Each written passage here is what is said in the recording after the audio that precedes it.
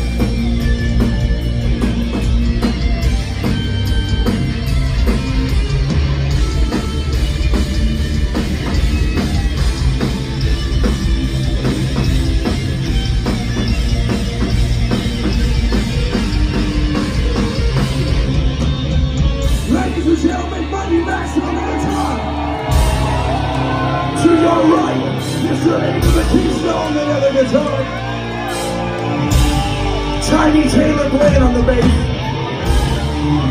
Mr. Tim King on the keys. And the man, the motherfucking legend, Mr. Nick